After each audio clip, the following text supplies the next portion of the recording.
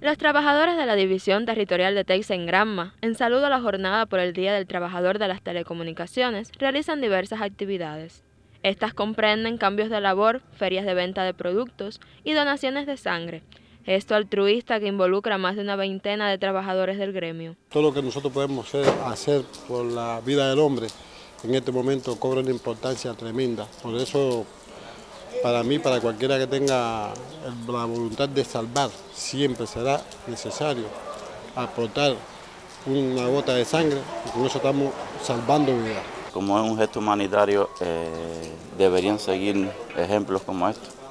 Eh, es algo que a nivel mundial siempre se ha aclamado y que influye directamente sobre las personas que lo necesitan para mejorar su salud y para eh, que el Estado pueda responder a, las necesidades propiamente de las personas que los requieren cuando estén enfermos, cuando tengan un accidente. Para mí es un placer aportar un granito de arena a aquellas personas que lo necesitan, que en este momento están pasando por una situación difícil. En saludo al Día del Comunicador y el reinicio de nuestras luchas independentistas, los trabajadores de las telecomunicaciones efectuarán el próximo 23 de febrero su acto provincial, en el que se reconocerán a destacados trabajadores con la distinción Mario Muñoz Monroy, Sabrina Gobea para el Sistema Informativo de la Televisión en Granma.